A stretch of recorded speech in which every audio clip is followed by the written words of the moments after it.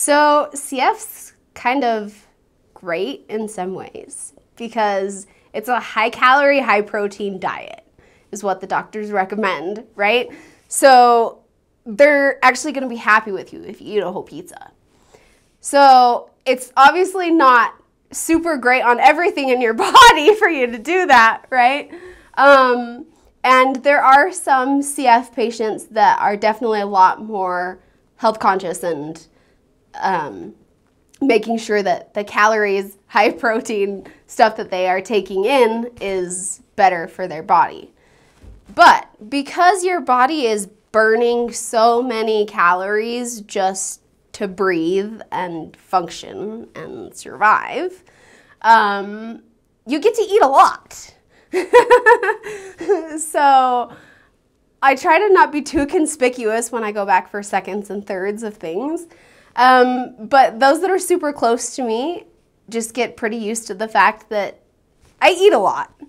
All of us eat a lot. Um, especially those, frankly, that are thinner than I am.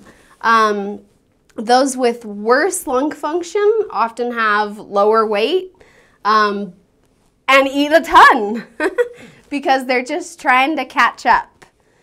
So, in some ways, you can't be overly picky when you're that low because you just have to be giving fuel to your body. But at the same time, you know, you don't want to be clogging up your body with horrible fuel, right? Um, so there is definitely something to be said about making sure that all of your food is healthy for you.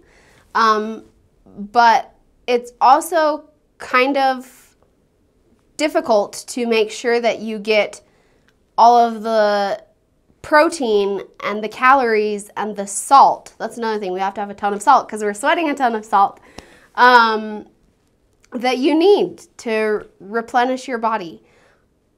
I like to make my own food because then I'm able to add a ton of salt without feeling like it's got a ton of preservatives in it too. Um, and my mom was really good at teaching me how to cook. I make a lot of stuff um, at home, but I, I don't know. That's just kind of life with CF.